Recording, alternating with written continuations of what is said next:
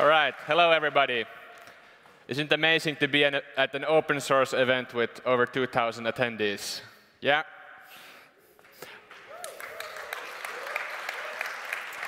How many of you have been using WordPress for over 10 years? Yeah, quite a few. Who would, who would have thought 10 years ago that we would be such a big thing today as, as WordPress and as open source in general? It's great. Can I get my slides on the screen? cool.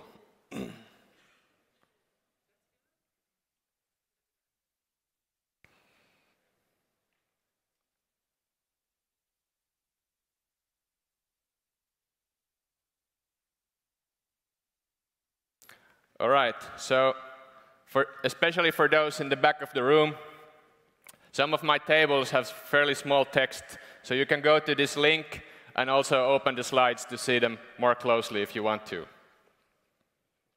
So I'm going to talk about WordPress performance today.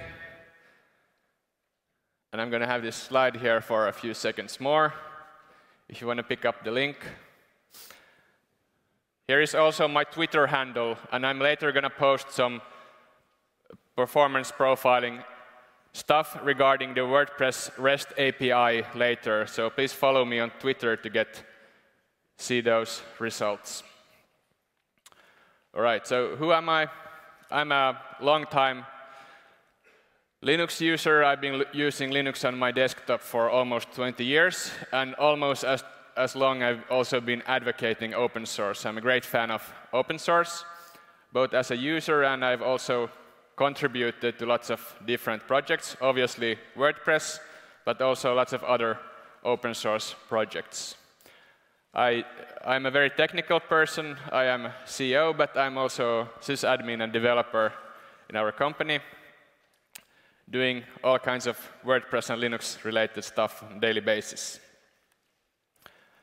And our company is called Seravo. It's a Finnish company, and we're specialized in WordPress upkeep and, and hosting. We run, we run lots of Word, enterprise-grade WordPress sites on our servers, and we make sure that they work all the time and they are 24-7 monitored. And if something goes wrong, our staff looks at the site and so on. And obviously, WordPress uh, problems in production is something that we encounter often, and we are very professional on solving them. So we are now, I think there's something like 2,200 attendees here, right? So WordPress is hugely successful. We've learned that it's now around 28% of the internet websites are running WordPress. And I think that the reason why WordPress is so successful is that so it's so easy to use, it's, it's very easy for people to produce something useful. It's easy for a, for a kind of end user to install plugins and make settings and stuff. And it's also easy for a developer to just do minor modifications if they want, but also to, with all the hooks and actions and stuff, to extend WordPress. So you, you can, in a small amount of time, get a lot of results and useful stuff out of WordPress. However, there is, are uh, some common challenges related to WordPress, and people usually complain about its security and its performance. And, I, and if you go online, you will notice there's lots and lots of tutorials and blogs and stuff, especially regarding WordPress security and speed. But I don't like most of those blogs and tutorials because most of the time they just list a bunch of things that you're supposed to do but they don't provide any evidence for you that why it's actually good. And lots of that advice is false advice. And that's why I like to go around to WordCamps and talk about and talk about these issues and do, do some myth busting regarding these issues. And some of you have seen me talk about WordPress security. Anybody here? Some. And today I'm going to talk about speed and performance. to, to give some sound advice what you can do and what is really useful. Right, so this is, I like evidence and I like having a good methodology. So obviously, when you do speed optimization, it's much easier than solving security problems because you always have something that you can measure and you can measure it in an objective way. So when you do, when you are about to optimize the speed of a site, you need to first measure what is your current state, then you need to find something to optimize, and when you've done the optimization, then you need to validate, and then you do this over and over again to constantly improve and not just randomly try different things and not really validating if they work or not. All right. So the first step is to find your baseline. Obviously, it doesn't make any sense to do speed optimizations if you, if you don't validate that you actually improved. And how to do it? There's lots of online tools. How many of you have used webpagetest.org? Yeah. How many of you have used GTmetrix? Yeah, that's fairly popular. How about pingdom tools? That's also popular. So here are some of my favorites regarding online tools you can easily use and measure the full page load. So these measure lots of things. They measure how fast your WordPress is, but they also measure quite a lot of front-end related stuff like CSS rendering and JavaScript and image, image stuff and so on. And now I'm going to talk specifically only about how fast WordPress is. And by that I mean how fast is the PHP code in producing the HTML result which it sends to the browser. Alain had a very good talk before me about the bootstrap process, and that's exactly, I'm, I'm kind of involved in the same thing, analyzing what WordPress does when it loads the page. So here you see a screenshot from webpagetest.org, and there the line number two, that's specifically the 244 milliseconds. In this example, that was produced by WordPress code. So how to, how to start? I like command line tools because it's easy to repeat and automate. And my favorite favorite way to find out how fast your site currently is, is to simply curl it. So this is what I would do. I would go to the server to eliminate any possible network lag. If you are on Wi-Fi with your laptop and so on, you can't use that for measuring. You need to go to the server, and on the server, you can run this to have curl output how many seconds it took to load the HTML part of your website. Curl is a really great tool. Then if, uh, mostly, if you have a good site, you will have some caching, and you want to burst the caching to actually measure how fast your PHP was, and not just how fast the caching layer was in front of your website. So then you need to add this HTTP header, pragma no cache. This is the same thing that your browser sends to the website if you press Control F5 or Command command, whatever it's on, on Mac or Windows. I only use Linux. There's a good source uh, from Google uh, explaining how caching works. So with this curl, you can actually measure what your PHP does every time. And obviously, just doing a single request is not good, it's not uh, valid. You need to do multiple time, multiple times it. And here is my bash tip, how to make a small for loop. In this example, first of all, it uh, makes sure that your output format is in the standard format, and then it loops 20 times curl, and then it uses another command line tool, awk, to sum the re results and then divide it by how many times it was requested, and then you get an average in this time an average over 20 requests.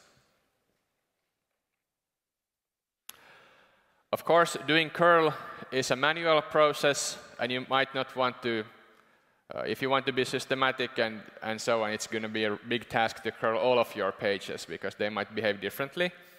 So another source of information of how fast PHP WordPress de de delivered your site is to look in the logs. And if you are, for example, running Nginx, you can update your Nginx configuration to include in your logs the time, how long it took for Nginx to deliver the result.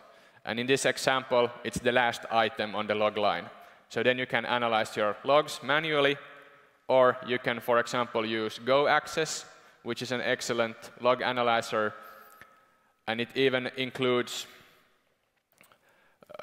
features that it uh, detects if there is a, if this timing is available in the logs, and then it will show you the average load time and cumulative load time. And average, of course, will help you to find requests that are slow always.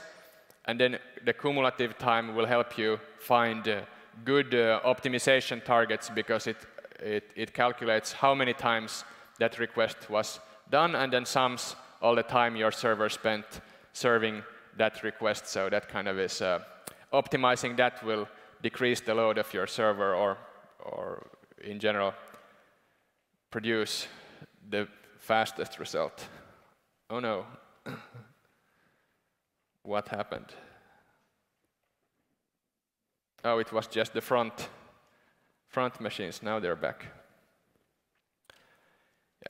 All right. So when you've done the measuring, then you can start to optimize to find a, and solve the bottleneck. And this is obviously a somewhat creative process, you need to have some kind of idea how stuff works. But there's different levels of, of uh, how, how, how deep you go into the code. Now, the quick and dirty way is to use WP CLI. How many of you use WP CLI? Yay, it's great. So here's, again, a small bash implementation, small bash script it will list all of your plugins and then deactivate one plugin at a time and then request the site five times to measure how fast it is when that plugin is deactivated. So here is a screenshot of how it looks like. The baseline is around 550 milliseconds on this example site. And when you deactivate WP to Twitter or Polylang, it doesn't change basically at all. However, when you deactivate advanced custom fields, you can see that it drops to 65 milliseconds. So this will reveal to you that this particular plugin is really slow, and if you disable it or optimize it, you will get an improvement. Then if you want a little, little bit more depth, you can use the debug bar. How many of you use the debug bar? Yeah, quite many. Good. And in debug bar, there is a plugin called Slow Actions, and then it will reveal this new page in the debug bar, which will then list some of the functions that uh, took the longest time. This is a way to find something. However, my own, own favorite and the tool that goes as deep as possible is Xdebug. Now, how many of you have already used Xdebug? Yeah, quite a few. All right. So it's a tool for PHP developers to analyze what PHP is doing. So basically, it instruments every single function and then calculates how long that function took and what function is requesting what function. This is how to install it on an average, uh, on, an, on a Debian or Ubuntu-based system there is a package, and then you enable the configuration. And this is how I like to do the configuration, that I have this line profiler enable trigger equals 1, which means that it's not going to profile every page load, but only the ones where you have this specific get parameter xdebug profile.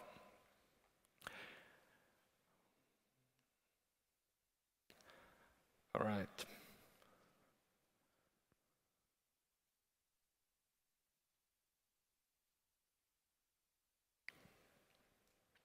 All right, so when you have it enabled, then you can add this get parameter. You can see this curl example, and that will trigger the profiling. And when the profiling runs, then Xdebug will write this file, which is basically a text file, and it lists all the functions and what functions they called and how much time they spent. It's huge. You can't in any way manually analyze it. So the second tool you need as a friend for Xdebug is some graphical tool to analyze the output of Xdebug. And my favorite is WebGrind. And installing it is as simple as this. And also to get uh, the the pictures of, of the functions you need to install GraphViz. And if you're running, if you use VVV or, or our Vagrant, then there are simple commands to enable Xdebug, so you don't need to do this configuration manually. All right, then when you have Xdebug and WebGrind going, then you can start do the profiling. So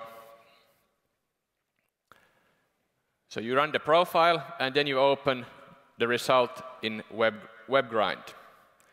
How many of you have used WebGrind already? N not that many. So you can also open the Xdebug profiling files in other tools, but my favorite is WebGrind, so I'm going to explain how it works.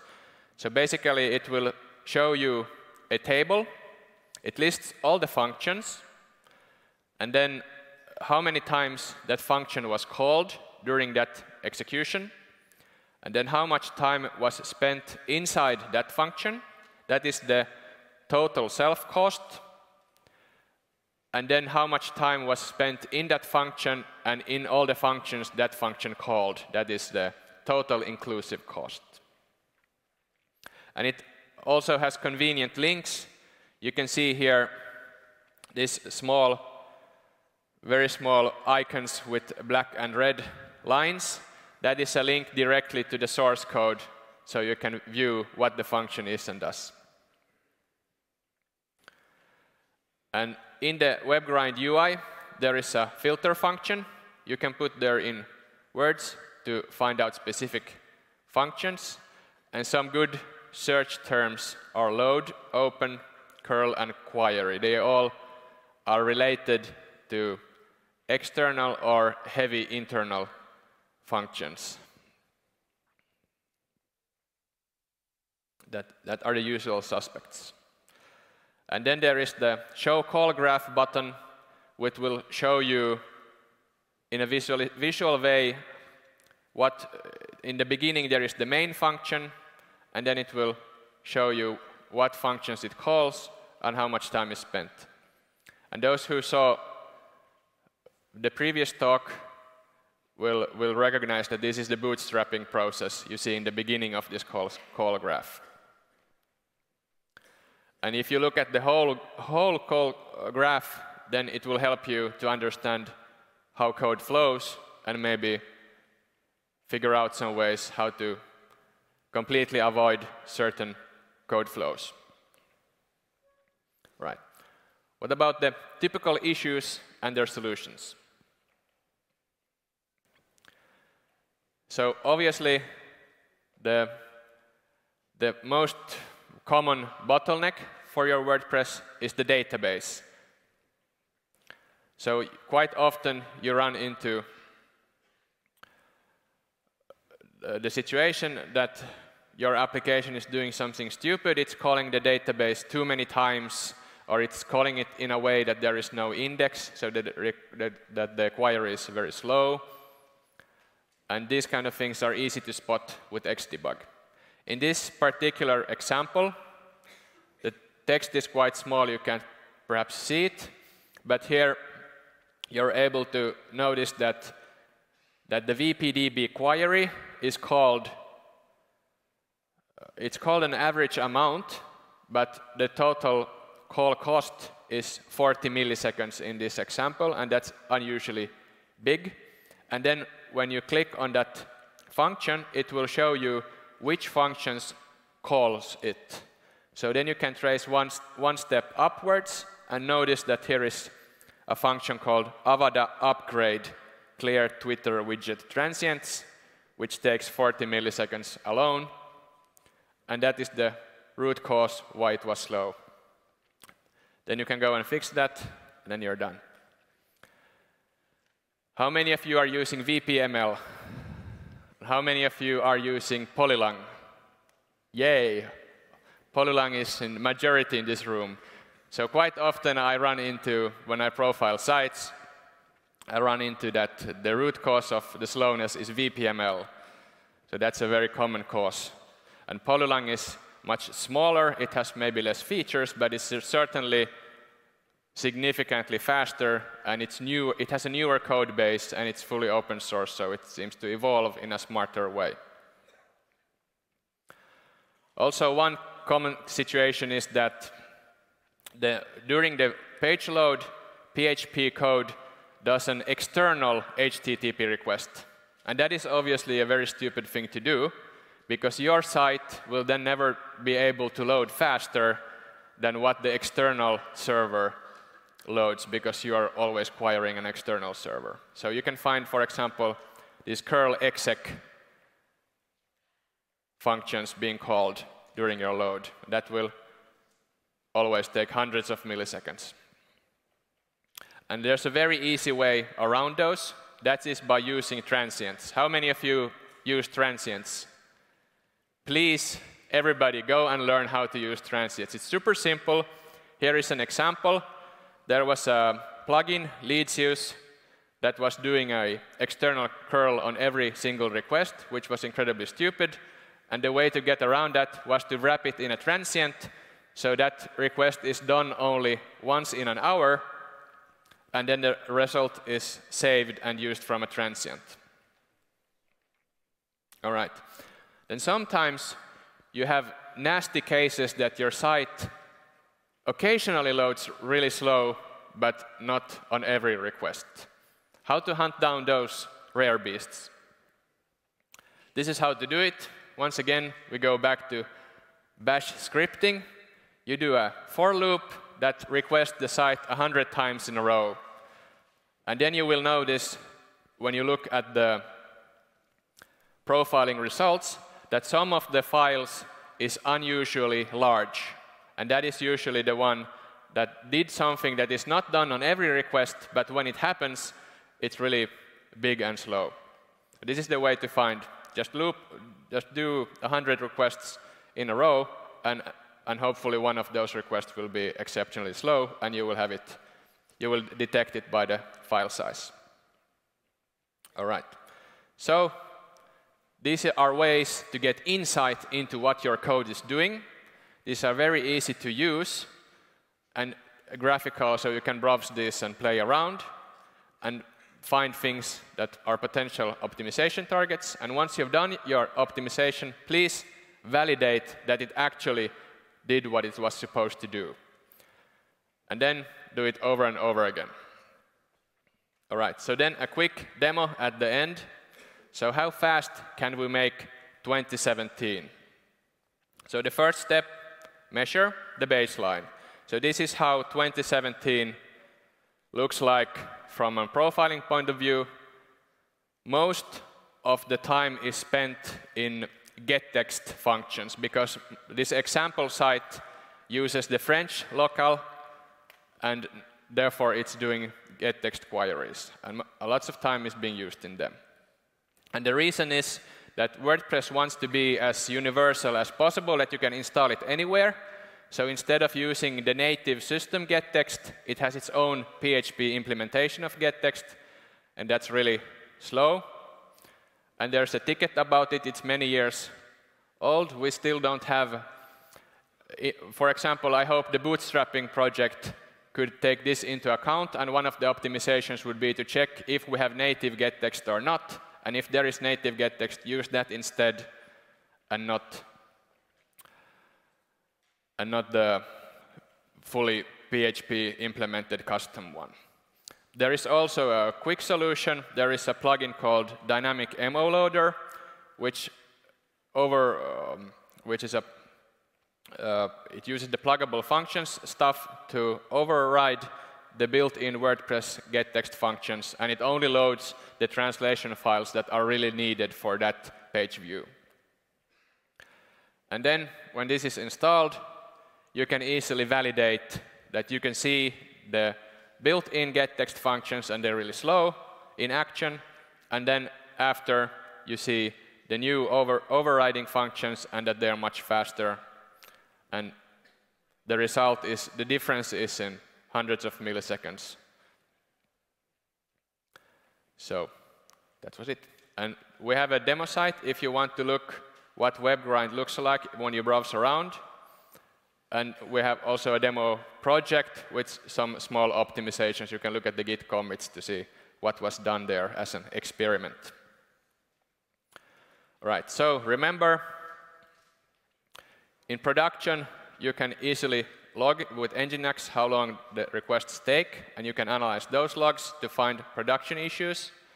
And Xdebug should never run in production because it's very, very heavy. It makes the page load take maybe five or 10 times slower than normal because it, it instruments every single uh, PHP function call. There are also uh, other tools, XHProf developed by Facebook, which has have a sampling mode, and you can use that in production. However, these projects seem, seem to be a little bit stale, and there's even an older project from 2004 that's certainly dead at the moment. And last but not least, also remember that in PHP, there is built-in two functions you can also use to measure how long in the execution of PHP you are. microtime will do that, and with get memory uses, you will also see how much memory is used at any, any certain moment. All right. Thank you.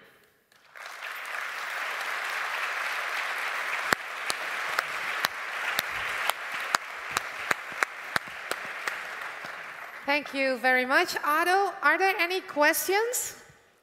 I would have liked to ask a question, but... I have one question. Is the Xdebug developer in the room? He, nope. He, he should be attending. Does anybody uh, want to ask a question There's a Otto? hand up. There's one. There are uh, mics here in the pathways. Please walk up to the mic and ask the question so people from the live stream can also hear your questions. And while you are walking up to the mics, I just want to say that Xdebug is a great tool, and profiling is just one thing it does. So it also does lots of other things. So please read up on Xdebug documentation and play around with it. Yes. Uh, okay, so is Xdebug itself, you said you needed a GUI. Was that like an external thing, or is that like part of the... The, the Xdebug only produces the profiling files. So you need to open the profiling files. So this is, this is how it looks like. It just produces text files, which are really big. Then you need some external software to open those text files. Yeah. And the easiest way is to use WebGrind. WebGrind, okay. Yeah. Yeah, okay. Here's how to install it. Thank you. Thanks for your talk. Um, have you mentioned switching from WPML to Polylang, and I saw that there is a WPML to Polylang plugin. Have you used it? How well does it work for big sites with many posts? I don't personally have experience of that one, but this was just an opinionated thing I wanted to throw in here for people who are interested in performance. you can you can find out this details about Polylang online easily. Thanks. Hi. Um, how would you measure requests to WP Ajax? To Ajax. So the way you measure the request is that you add this. Let's see if I. Yeah. So you you add this behind or after your request. So this part can be anything. So you could, and, and the curl can also be anything. So you can change this to whatever you want. You can do, put the Ajax uh, endpoint here, and you can also add to curl post, uh, a post payload to do the thing you want. So just read up on, on curl documentation how to do the request you want, and add this at the end, and when you run it, a new file will turn up in the folder where you have configured Xdebug to output. All right. So thanks for your talk. I have a suggestion how to measure outgoing connections. There's a plugin called Snitch, and it will monitor every call that is using the um, WP get remote or post remote. And you can even disable calls per function. All right. Do you know of it? No, I haven't, I haven't used it. You, you could also just grep for curl or get remote in your code. But that's a, thanks for the tip, snitch. Yeah. Any more questions? No? Oh, there is one question. Please come to the mic, sir.